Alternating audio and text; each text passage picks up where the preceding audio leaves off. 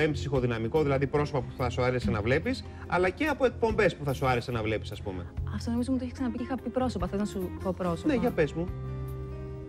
Ε, τώρα. Ε, Ό,τι σου έρχεται. Δεν σημαίνει ότι φύγει στους άλλους, ρε παιδί. Ναι. μου.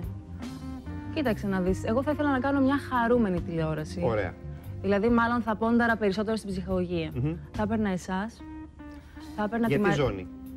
Πρωινή. Αυτή που κάνουμε. Ε, ναι. Δεν σας αρέσει. Θέλετε να τα αλλάξουμε, πείτε Όχι, μου τώρα όχι, που μια χαρά γυρίζει. είμαστε εμείς. Θέλετε να πάτε βραδινή ζώνη, Μια χαρά Γιώργο. είμαστε. Α, είστε καλά.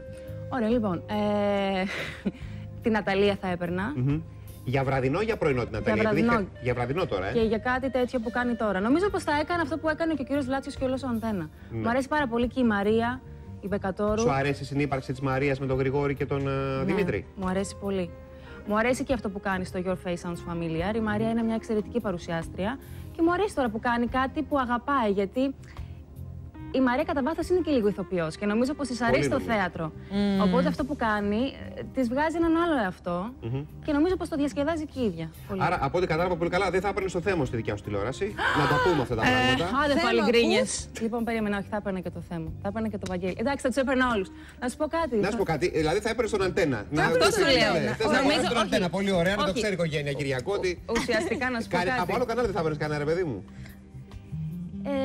Ε, την Ελένη Μενεγάκη. Βεβαίως. Θα έπαιρνα και την Ελιστά, γιατί εντάξει, είπαμε, θα είναι ψυχολογικό, αλλά θα έχουμε και μία ζώνη. Κύρο ειδήσεων, ας πούμε. Ναι, έτσι. πρέπει. Ναι. Δεν χρειάζεται, χρειάζεται. Άλλοι που σου αρέσουν πολύ; Μου αρέσει πολύ η Πόπη Τσαπανίδου. Μμμ. Πάρα πολύ. Ε, μου αρέσει η Τζέννη Παλατσινού πολύ. Μμμ. Και ο Πέτρος Κωστόπουλος. Παιδιά, εντάξει, τώρα μην περιμένετε. Μου αρέσουν. Όχι, πολύ. όχι, είπες πριν χαρά την άποψή σου. Ναι. Σε όλα.